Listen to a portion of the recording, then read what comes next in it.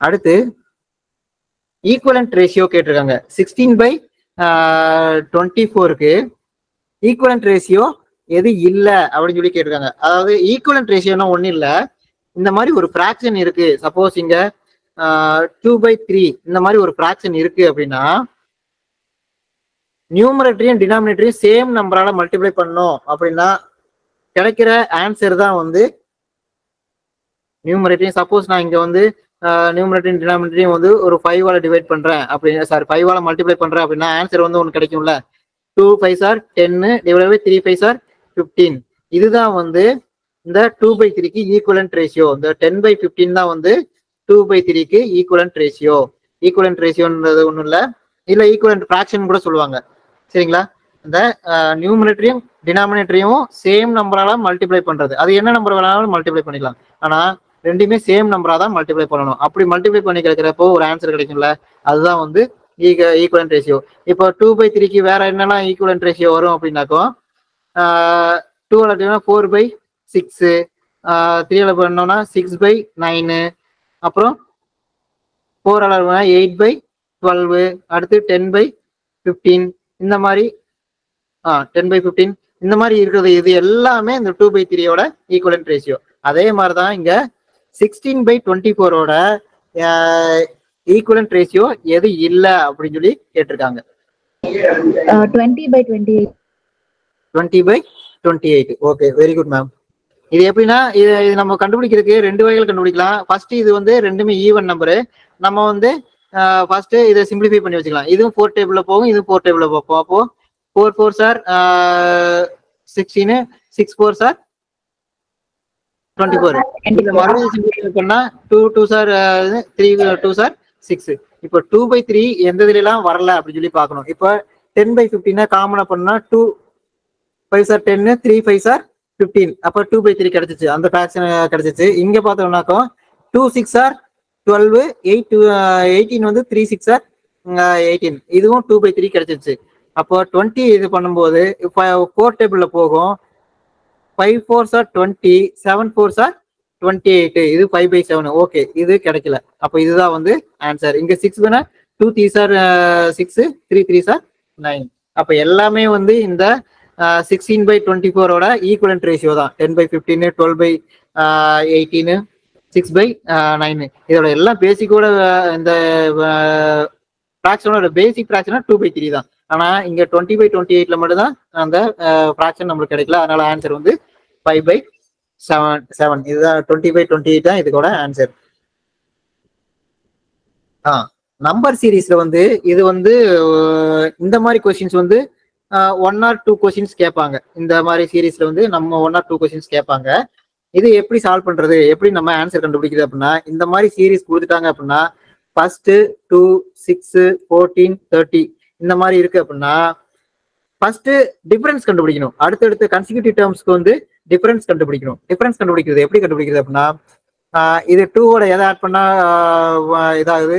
Plus ஃபோரை add பண்ணியிருக்காங்க அதே மாதிரி சிக்ஸோட எயிட் ஆட் பண்ணா ஃபோர்டீன் வரும். ஃபோர்டீனோட சிக்ஸ்டீனை ஆட் பண்ணா தேர்ட்டி எயிட் வரும். அப்போ ஏதோ ஒரு நம்பரை ஆட் பண்ணிருக்காங்க. தேர்ட்டின் தேர்ட்டியோட ஆட் பண்றாங்க.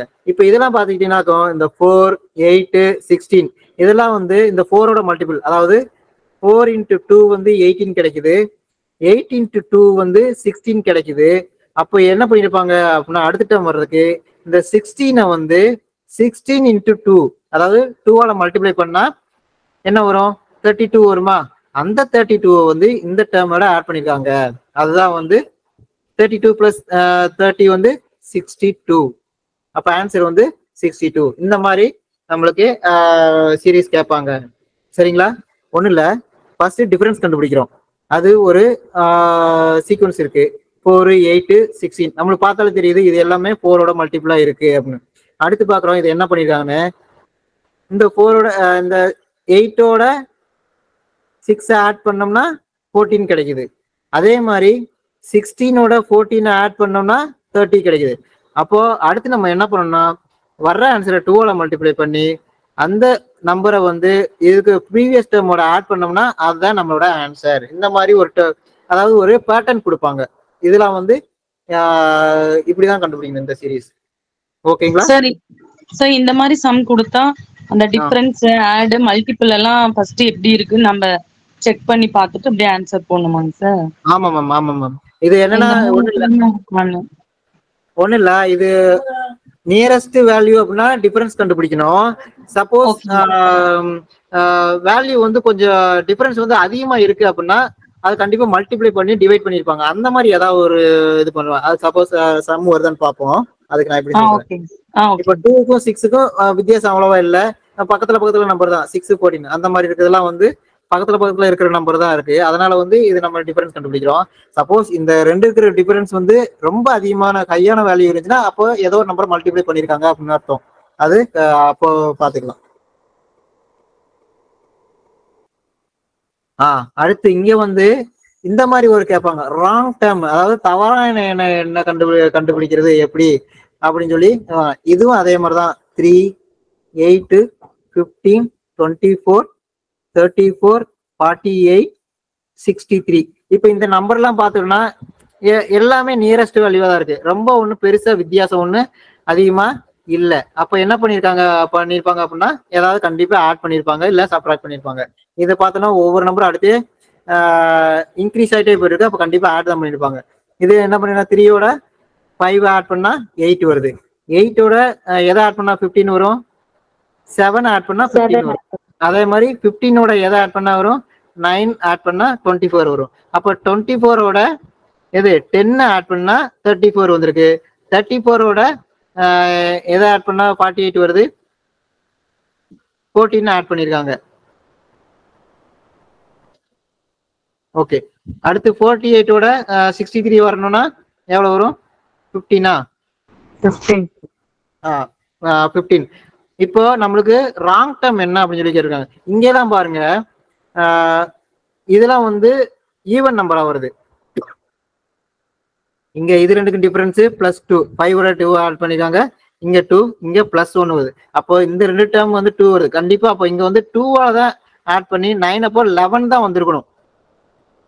டுவெண்ட்டி ஃபோரோட லெவன் ஆட் பண்ணா தேர்ட்டி ஃபைவ் வந்திருக்கணும். இங்கே இந்த நம்பர் வந்து தப்பாயிடுச்சு. அப்போ தேர்ட்டி ஃபோர் தான் இங்க வந்து ராங் டேர்மு இது இதுக்கப்புறம் லெவன்னா அதுக்கப்புறம் அடுத்து இந்த டேர்ம் கரெக்டாக இருந்துச்சு அப்படின்னா அடுத்தடுத்த டேர்ம் கரெக்டாக இருக்கும் அதில் நம்மளுக்கு ஸ்டார்டிங்ல இந்த டேர்ம்லேயே தப்பாக இருந்ததுனால இதுதான் ராங் டேர்மு அப்படின்னு சொல்லி ஆன்சர் கண்டுபிடிச்சிடலாம்.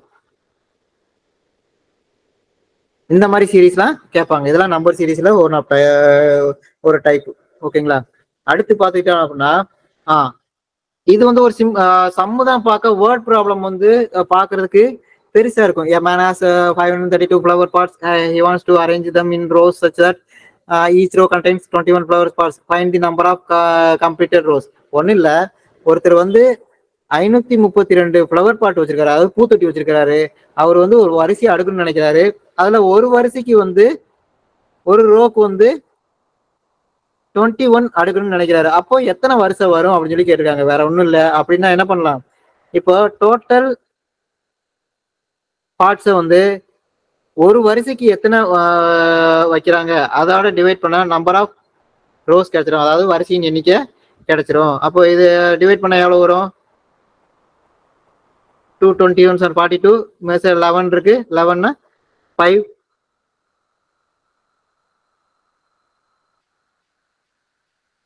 ஒன் ஒன் டூ சரி ஓகே டுவெண்ட்டி ஃபைவ் சார் ஆ. டுவெண்ட்டி ஃபைவ் டேர்ம்ஸ் வந்து வந்ததுன்னா கண்டிப்பா டுவெண்ட்டி ஃபைவ் போடல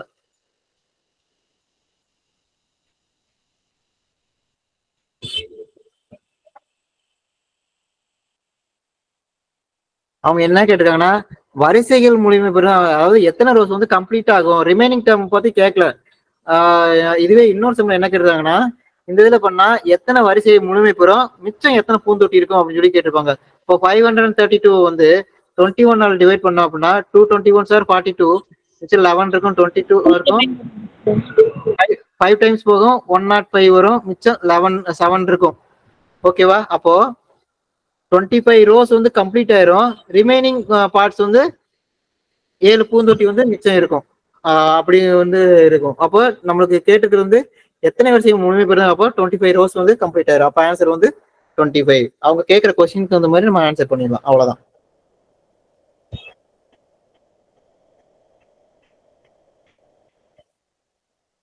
ஓகே இதுவும் அதே மாதிரிதான். ஆஹ் ஒருத்தர் வந்து பன்னெண்டு மாங்காய் வாங்குற பன்னெண்டு மாங்காய் மாம்பழம் வாங்குறாரு. அந்த பன்னெண்டு மாம்பழம் வாங்கும்போது ஒவ்வொரு செட்லயும் வந்து மூணு அழுகி போயிடுது. அப்படின்னா பன்னெண்டு மாம்பழத்துக்கு மூணு பழம் அழுகி போயிடுது.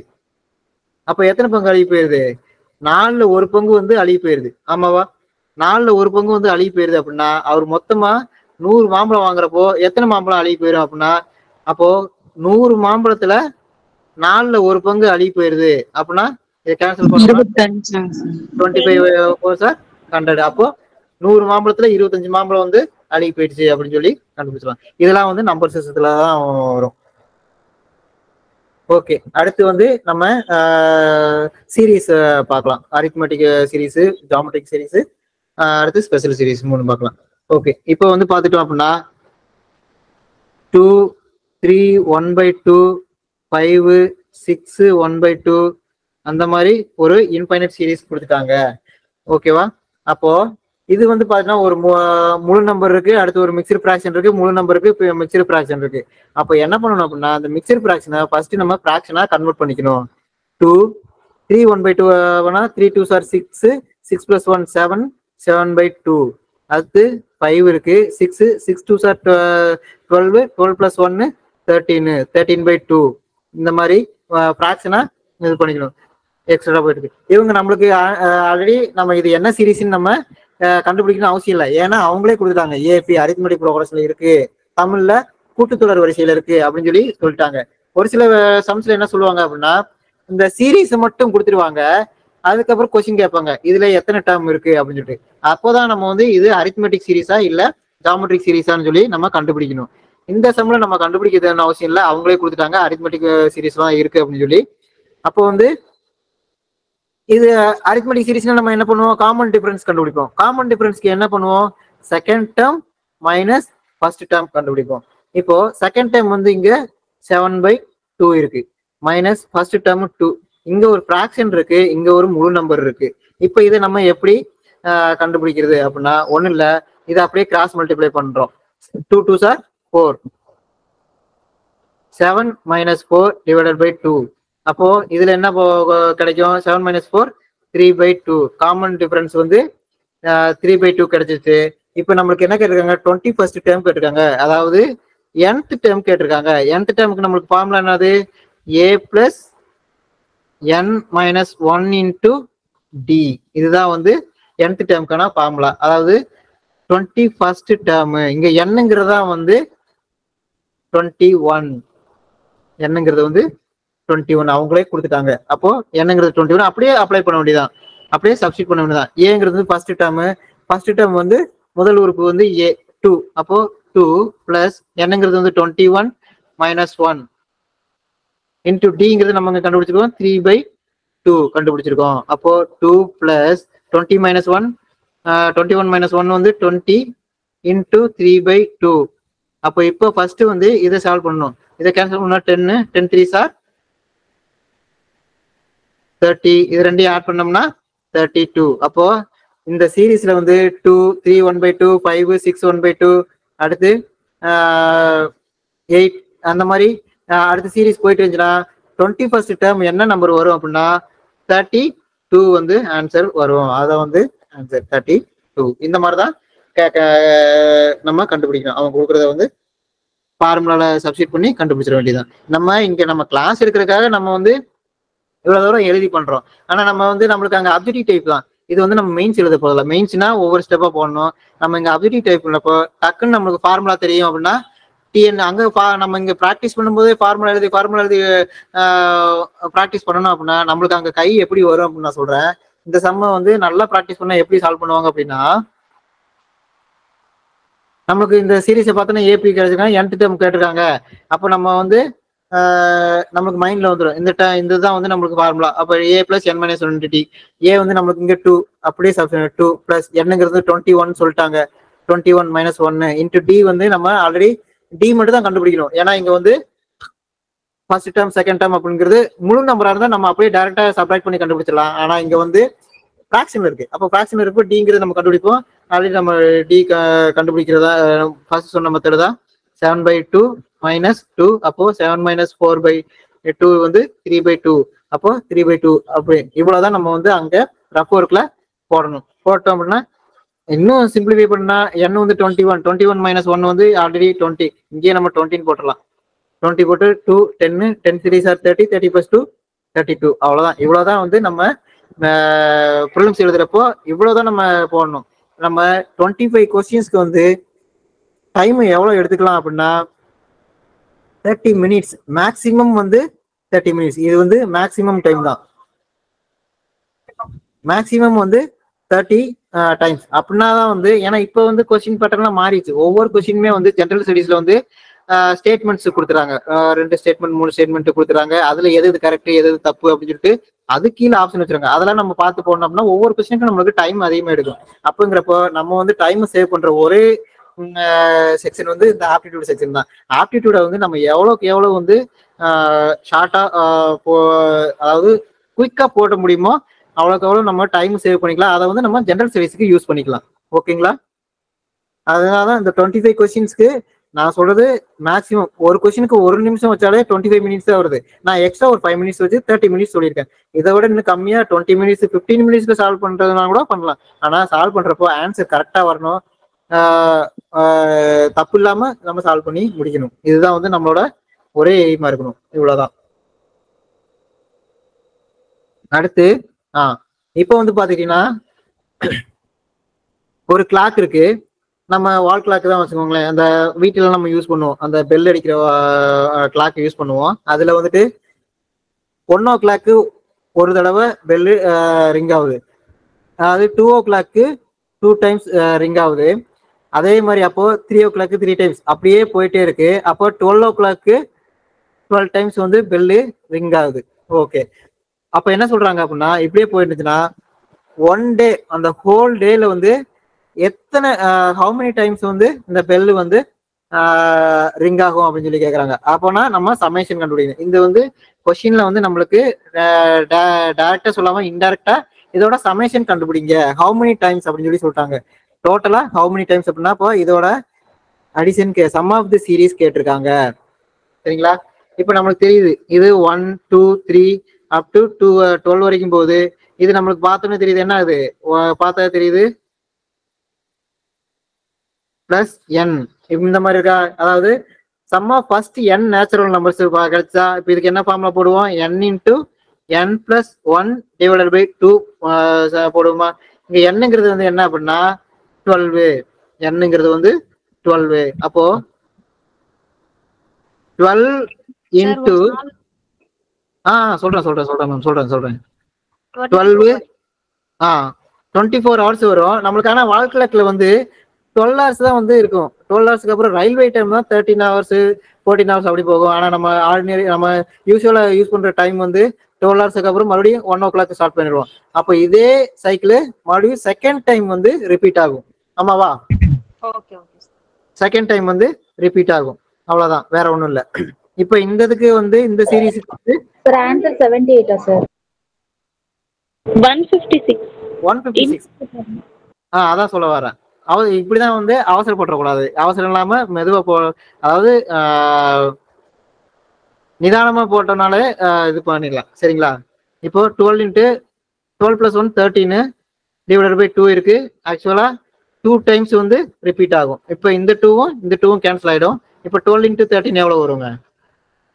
Six five one one fifty six times வந்து நம்மளுக்கு அந்த பெல் வந்து ஒரு நாளைக்கு ஃபுல்லாக ரிங் ஆகும்.